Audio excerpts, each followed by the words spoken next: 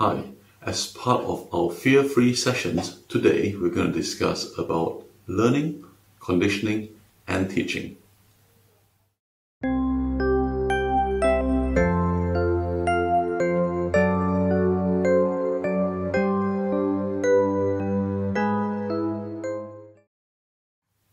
Today, I'm going to explain and introduce three powerful ideas that can help you achieve a better outcome for your pet in its training.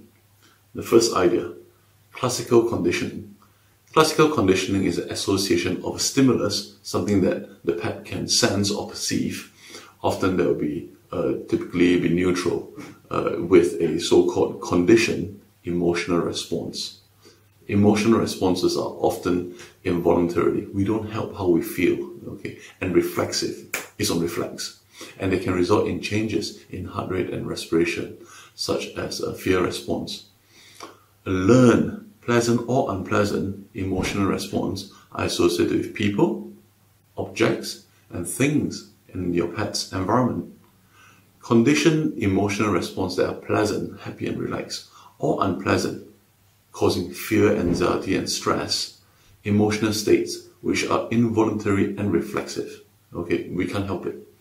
The goal of classical conditioning is to associate pleasant emotions and prevent the association of unpleasant emotions causing fear, anxiety, and stress with environmental stimuli.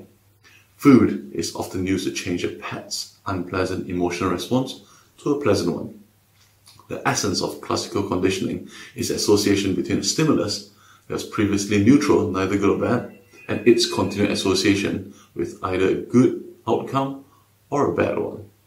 Soon the stimulus alone will help the animal predict what's going to happen and begin a conditioned emotional response. For example, a cat learns that a cat basket means extra treats, resulting in positive conditioning emotional response, or in an alternate example, the same cat learns that a cat basket means a vet visit, resulting in a negative conditioned emotional response.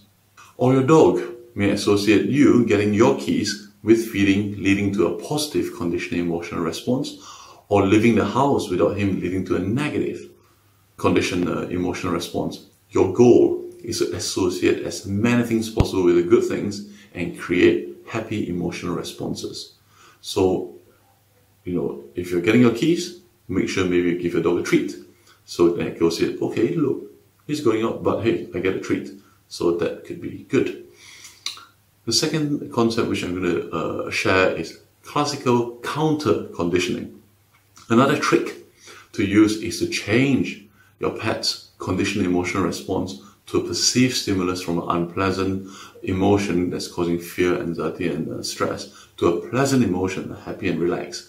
It is known as classical counter conditioning. For example, a dog that has got a negative conditioned emotional response to washing down after muddy walks. So food is paired with washing down after walks repeatedly. Over time, the negative conditioned emotional response causing fear, anxiety, and stress to washing down after walks is changed to a positive response because of the food. The third concept I'm going to introduce is desensitization. So desensitization is a process of reducing the sensitivity or reactivity towards stimuli through gradual controlled exposure. Exposure to evasive stimuli, usually fear-inducing, is introduced to the pet in a gradient fashion from a level that's unlikely to cause a negative um, conditioned emotional response and slowly progressing to more intensive exposure while still avoiding that level that will cause a negative conditioned emotional response, thereby preventing negative emotions and allowing the pet to overcome the fear. To begin, it's necessary to know the highest level of fear-inducing stimulus that a pet can tolerate without showing a negative uh, conditioned emotional response. An example for this would be desensitization using a loud noise CD for dogs that is uh, afraid of fireworks or the sound of fireworks or loud noises.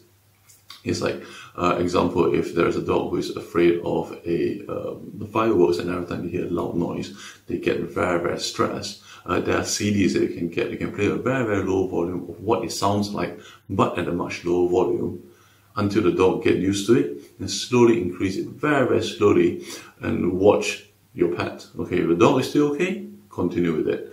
And over time, you can increase the volume to as loud as it could be potentially so that your dog doesn't associate that with a bad response because they've been desensitized towards it by having a very, very slow gradient.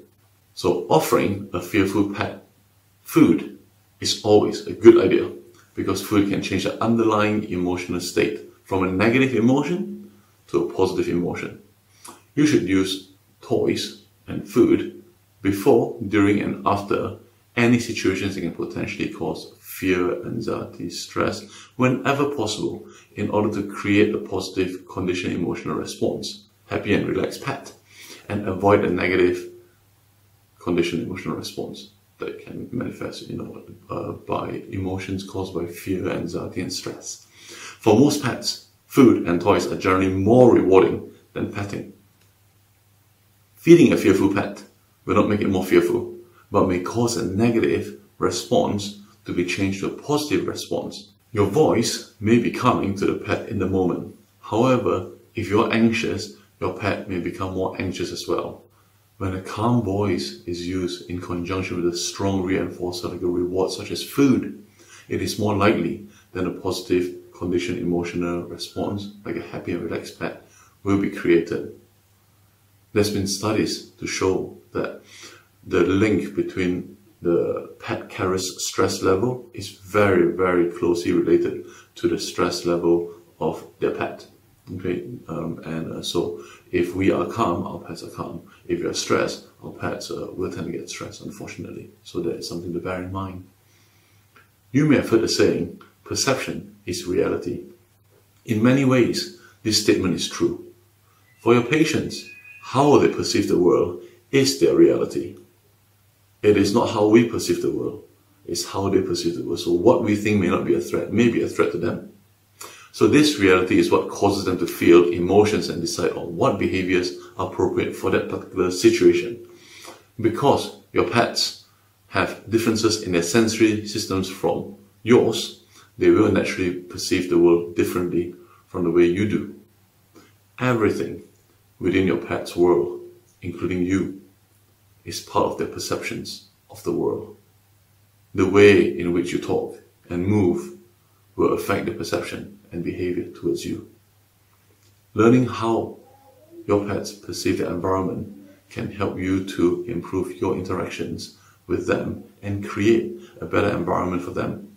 If you do not understand how animals perceive their environment, it will be difficult to change their emotions and behavior related to their reactions to the environmental input. I hope you have found this useful. If you have not done so, subscribe below to our channel and uh, make sure you comment below on what you think about this and what tactics have you used to help your pet in the past.